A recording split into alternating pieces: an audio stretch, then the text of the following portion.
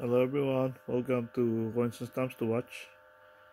So uh, we have two old coins here for you and uh, these ones are both from Hong Kong from the same year 1933. So it's an old one and these are called the small types.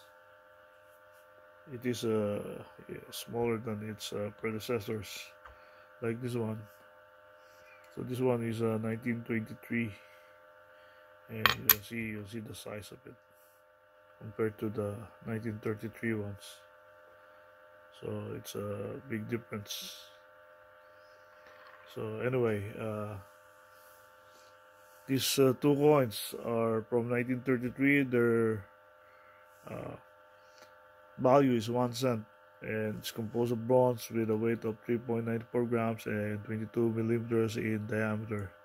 So um, I always say uh, the composition, the weight, and diameter uh, of the coin. So at least uh, you can have a basis of uh, of uh, your coin if it's uh, the real one or not.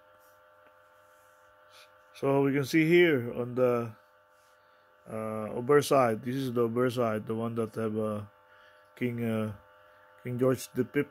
You can see his uh, portrait uh, facing the left, and the letterings uh, that uh, translates to George the Fifth, King and Emperor of India.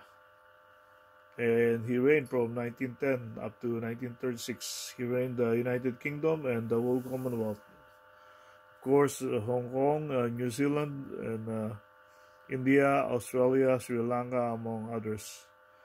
Uh, and uh, now uh, we are all independent, uh, independent uh, from uh, the United Kingdom. So the engraver of this coin is Edgar Bertram Mackennal. See, see the. Oh, it is a bit. okay, here we go can see here. Very nice one.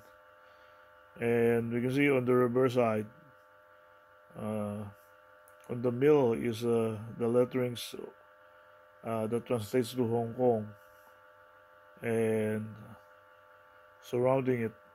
On the edge of the coin is uh, the country name Hong Kong uh, the value one cent and the year 1933 uh, they minted uh, 6 million 500,000 of this coin.